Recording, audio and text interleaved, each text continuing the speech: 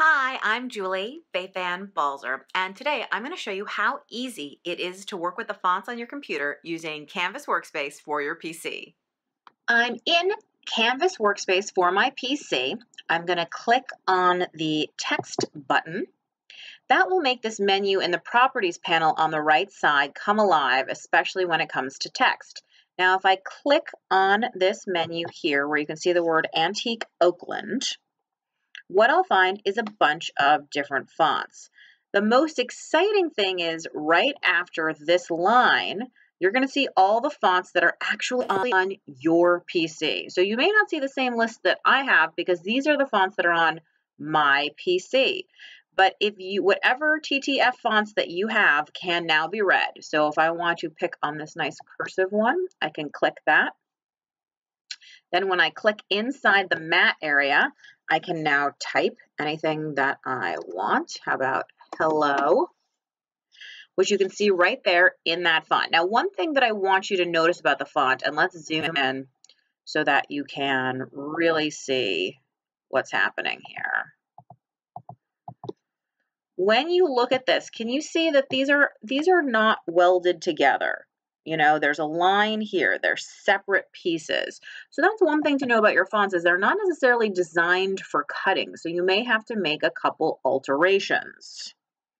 So what I'm going to do is I'm going to select this and I'm going to go ahead to the edit menu and I'm going to choose process overlap and I'm going to choose weld and notice how those lines disappeared.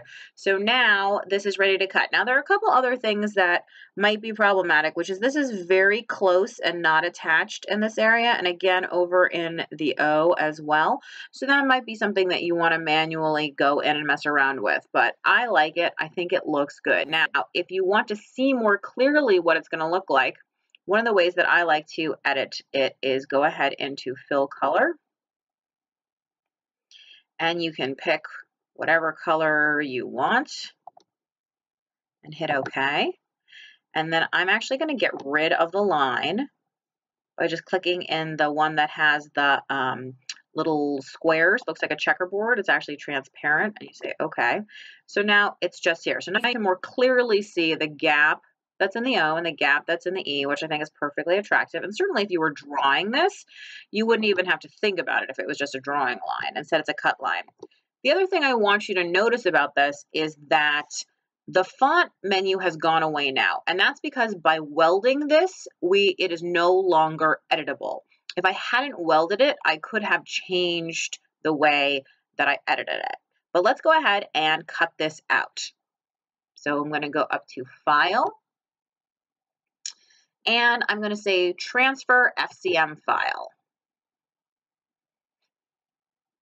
So now it's ready to go. I'm just going to head over to the scan and cut and cut it out. From the home screen, I'm going to choose pattern and the wireless button. There is my hello. You can see I've already scanned in my paper. So I'm simply going to move the hello into the correct area and I'm going to say okay, cut, and start.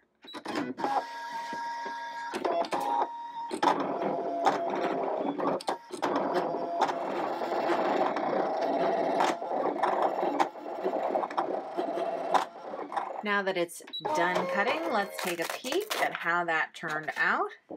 It looks fantastic. And all those little gaps are not a problem at all. You can see how easy it is now work with all the fonts that you own to make whatever it is that you like. Now that we've cut that out, I want to show you a couple of other things you can do with fonts. So again, I'm going to click on text and I can go ahead now and choose my font.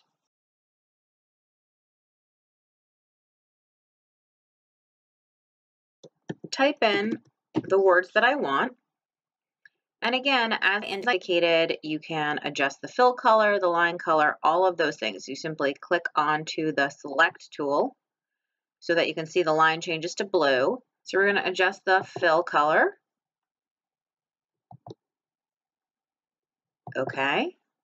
And get rid of the line color. I just find it easier to see things this way. Now, The line width is going to refer to that line on the outside that we just got rid of. And you obviously can change that, but since we have no line, you're not going to see any difference. However, if now that I've changed it to four point, if I change the line color, let's say to that, now you can see that sort of dark color around there. Um, you can also change the dash pattern. So could be dashes, just like that. Could be larger dashes, just like that. I'm not sure why you'd want to do it around text, but maybe you might have a reason for wanting to do that. Now the next thing is you can see there's a style thing here. You can change the style of the font. Regular, oblique, which is another word for italic, bold, and then obviously bold oblique is an italic bold. Very cool. Now, character spacing, what does that refer to? Well, take a look at what happens to the text. If I bring it up, the letters separate, which is something you definitely might want, especially if you're creating a stencil or something like that with text. However, if you had some text that seemed like it was too far away, you can also bring it down and squish it up okay? And that can create something else entirely different that I think is really cool. That would be great for a monogram or anything like that. The other thing that you can do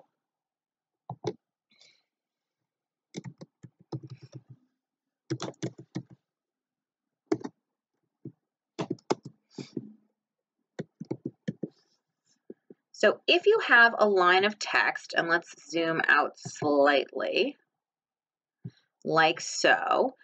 And you want to add a second line. You can't hit return to add a second line, but what you can do is simply add another line of text. And then by using the select tool, I can decide where I want to place it. Here, centered, over to the right, whatever it is that I want. And certainly I could use the alignment tools. So I can go up to edit and align and say align right. And now I know that these two are perfectly aligned on the right side. I can also say edit, align left. And now they're perfectly aligned on the left, whatever it is that I want. I can also, if I want, resize these and I can make both of them at the same time. So it's like it's one big line of text differently sized. If you don't want to use the top menu options, you can also, in the right on the Properties panel, click on this second option, which is called Edit. That's going to bring up more of a visual guide to the entire editing menu. And at this point now, I can flip the text. Let's say I want it to be backwards because I'm doing something where it has to be backwards. And again, I can change the alignment. Okay, I can even weld things. I can add an offset if I want, which is going to basically add a border around everything, which you'll be able to see. There you go. And you can customize that as well. But this is really the key is using these panels and all of these choices to get the look that you want. As soon as I want to head back to fonts, all I need to do is click on the brush for properties and there you go. You can see my full options have come up. Thanks so much for watching. For more tips, tricks, and tutorials, be sure to visit my blog at balzerdesigns.typepad.com, subscribe to my YouTube channel, and of course, don't forget about the Scan and Cut website at scanncut.com.